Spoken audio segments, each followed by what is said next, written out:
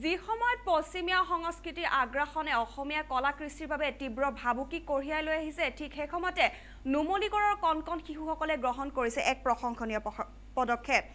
এইদৰে বিভিন্ন মাধ্যমৰ বিদ্যালয়ত পঢ়ি থকা কণ কণ শিশুসকলক একগোট কৰি নুমলীগড় মূৰফুলানীৰ মাজগাঁৱত অনুষ্ঠিত কৰে মহাপুৰুষীয়া ভাওনা। বিপ্ৰ দামোদৰ নামৰ এখন মহাপুৰুষীয়া ভাওনাৰ জৰিয়তে অঞ্চলটোৰ কণ কণ ছাত্ৰ ছাত্ৰীসকলে অসমীয়া সংস্কৃতি জীয়াই ৰখাৰ এক ক্ষুদ্ৰ প্ৰচেষ্টাক সকলোৱে একেমুখে শলাগ লৈছে। এই ভাওনা ভাগি চাবলৈ অহা সকলো লোকক আমোদ দিয়ে। কণ কণ শিশুসকলে অভিনয়ৰ যোগেদি। ভাওনাৰ জৰিয়তে কেনেকৈ আমাৰ অসমীয়া সমাজ ব্যৱস্থাৰ ৰীতি নীতি কৃষ্টি সংস্কৃতি আগুৱাই নি বিশ্ব দৰবাৰত জিলিকাই তুলিব পাৰি তাৰ এক নিদৰ্শন দেখিবলৈ পোৱা গ'ল শিশুসকলৰ মাজত।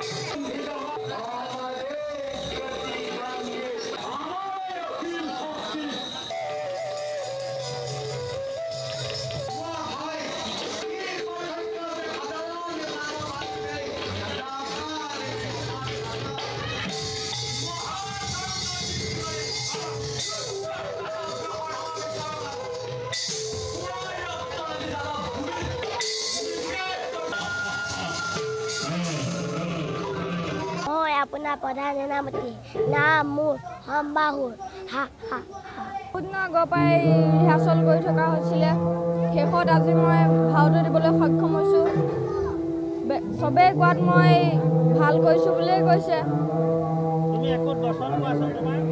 আমি এই জগতৰ গৰাকী ৰূপে জন্ম লৈ মানৱ ৰূপত নানা লীলা কৰি দুষ্টক দমন আৰু অবান্তক পালন করি। এই ধরা ধামত থাপিস ধর্ম। ধরিত্রীর কাতর অনুরোধ। পাপর ভার কমাবর বাবে নারায়ণর পূর্ণবতার আমি কৃষ্ণ